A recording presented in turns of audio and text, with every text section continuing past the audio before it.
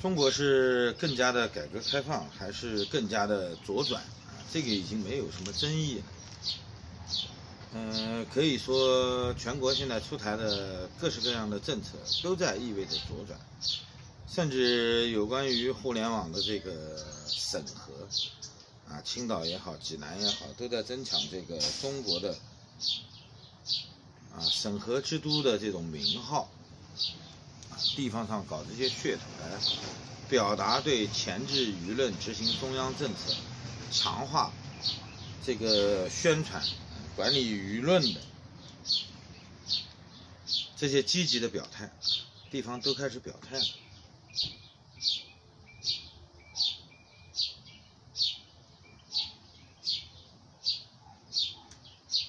没有人认为中国更加的开放。左转的信号一个接一个，但是呢，关于共军什么时候能垮台，是不是已经达到了改朝换代的这种临界点，看起来还是有争议的。因为有许多人跟我说，说身边的人每个月还能挣几百万。我知道，在任何一个时代，其实我们都不缺挣钱的行业。只要你舍得下本钱，敢于践踏法律，或者说你有一定的背后的支撑，包括美国禁酒令时代也催生了美国的黑社会、暴力行业。每当社会剧烈动荡的时候，他们都会形成一轮暴涨。今后挣钱的其实主要就是这些。边缘产业，原先人们看不起他，呃，觉得他们挣钱的方式违背了法律，践踏了世间的一切我们应该尊重的信条。当然了，更多的人只是羡慕他们，在心里羡慕他们，到了万不得已的时候，还会去低声下气的求他们。其实呢，每一个社会。走到这个地步的时候，都会出现类似的产业，没有一个国家会例外。因为改变对人们来说是一个非常不愿意的事儿，因为它打破了原先人们认为的安宁的社会环境，打破了人们人们认为可以永久保持下去的岁月静好。那么也有一些人呢，他们根本就不承认社会有变革的基础。他们觉得这个社会呢，只是到了一个共产党啊不那么强势的这么一个地步啊，就经济上、政治上还是强势，呃，经济上不那么强势了，在全球范围内，他们的影响力啊正在缩小，甚至正在被打压、被迫缩小。那么维持中国的是什么呢？是两三亿人，两三亿既得利益阶层。他们紧紧地围绕在共产党这个执政团队的周围，他们一边享受着共产党给他们带来的好处，一边又依附于这个权力，继续在整个社会中不断地攫取民众的血汗。他们还在挣钱，甚至我们现在看到的所有的地下钱庄，正在往国外搬钱。往国外走私着资金和人口的这些大的项目，其实也是他们在玩。所以有很多人都认为这个社会不是那么容易转变的。呃，中国人应该来说还是能扛得下去的。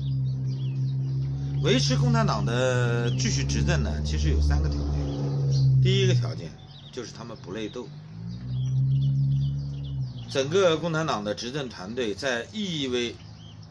呃，意识到全球都在对他们进行遏制的时候，尤其是海外，因为各国法律开始追究他们以前的一些违章的、不合规的这些行为，甚至他们已经在国外的资产都被迫撤回中国，或者撤到南美、撤到一些与西方主要国家没有引渡条约的这些国家去。他们觉得这个事件呢，是针对整个中国的，而不仅仅是针对共产党。当然，就算意味着，呃，全球都在针对中国共产党，想摧毁这个最后的乌托邦帝国，那么还是有一个想法，就是只要我们不乱，我们内部能团结啊，我们还是能撑下去的，对吧？因为他们已经知道一点了，现在换掉一个领导人，跟摧毁这个体制没有什么区别。因为你换掉习近平，你换任何一个人上台，只能在中国内部导致民众对共产党更不信任，对吧？你三天两头这个抓坏蛋，抓到最后呢，中国共产党所有的领导人都是坏蛋，对吧？啊，从陈独秀、瞿秋白、李立三。是吧？一直排下来，排到哪儿呢？你到了毛泽东也是啊，啊，他是反革命集团是吧？江青四人帮反革命集团的家属，对吧？没有什么好人。那么紧接着几个总书记，胡耀邦被赶下台了，说他是胡乱帮。那么赵子阳呢？赵子阳把他定义为赵子阳反党集团，虽然这个名义提了一下。很快就销声匿迹了，但事实上是有过这么一个定语。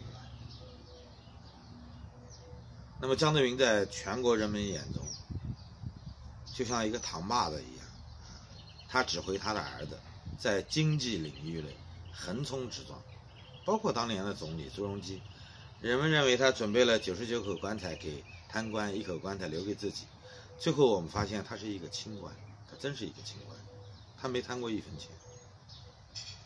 但是他儿子一分钱没少贪，对吧？李鹏就更不用说了，小儿子已经偷渡是吧？跑到新加坡躲避集资诈骗的指控了。大儿子呢？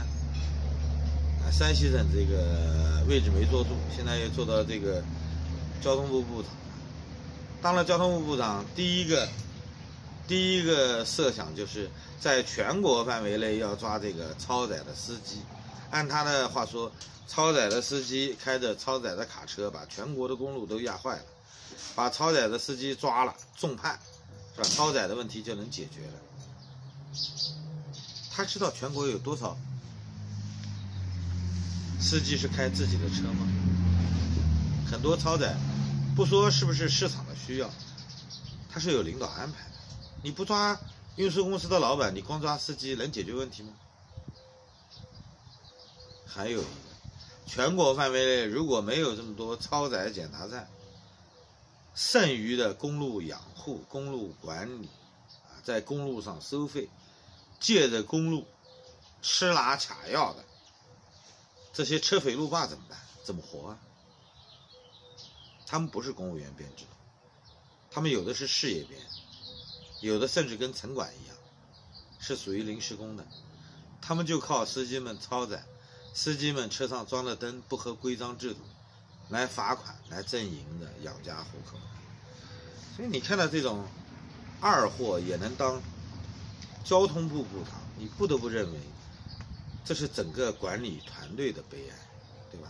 他没有办法安置他，没有地方放他，很随便的安到一个位置上，他就能摧毁中共在人民心中的正义性。李鹏的女儿就更牛逼了，是吧？他要给全国人民建立道德档案，啊，他自己包养一个小鲜肉，这个倒不是大事儿，对吧？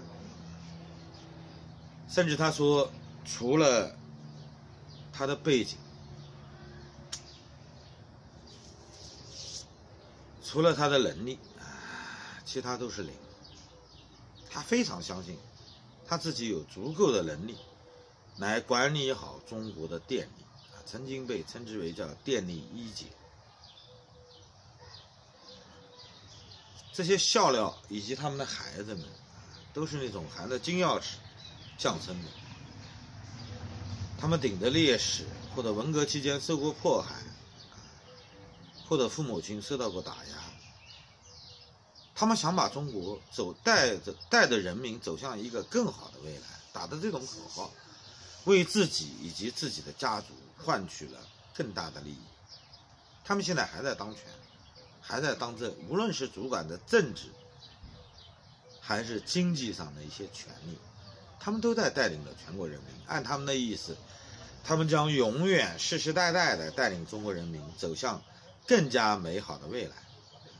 现在遇到的中美之间的挫折，全世界对中国的不理解，对中国道路的不信任，这是一个困难，是可以克服的。整个红二代都是这样的想法，没有什么区别。红二代说，有的时候啊，发出一种声音，要呃提提醒这个习放注意啊，我们不满意了，你走的路错了，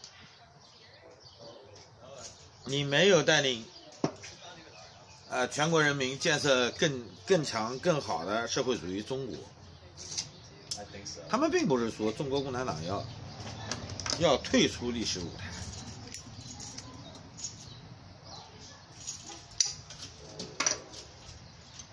只是他们基于血缘上的关系，他们觉得需要纠偏，他们需要为自己的未来提醒中共的领导人。更加坚定的走中国特色的自己的道路。中国共产党的领导层是没有任何分歧。中国现在能稳定，它主要的原因有三个，最重要的就是中共内部的领导集团目前没有分化，它是有抢权的这种现象，是吧？尤其以薄熙来为首。看不起习胖，想以身替代，是吧？他觉得他能做得更好，但是本质上，他们都在捍卫这个政权，因为他们知道这个国家是他们的。如果说他们内部的分歧要是暴露到全社会，给国际社会知道，让全国人民知道，对他们整体的利益是有伤害的。我们现在看不到更加明确的这种内部的分歧，只能从一些小道消息去推测。当然了，也有很多人执迷于中南海内幕，是吧？把三流小报编撰的一些新闻当做主题新闻来透露，啊，揭露中共内部的斗争，谁抢了谁的地盘，谁抢了谁的小三。对吧？谁抢了谁的财产？这些东西，我们既无法证实，也无法证明。其实大可不必在意。中共内部虽然从来不是铁板一块，他们有各式各样的利益集团，但是他们维护中国共产党对中国的统治，这是没有任何分歧的。只不过他们内部可能有一些指导思想有分歧。有各种各样的流派，但是目前我们还看不到这个内斗，内斗至少没有我们想象的那么明显，这是他们能维持政权的最重要的原因。谢谢大家，再见。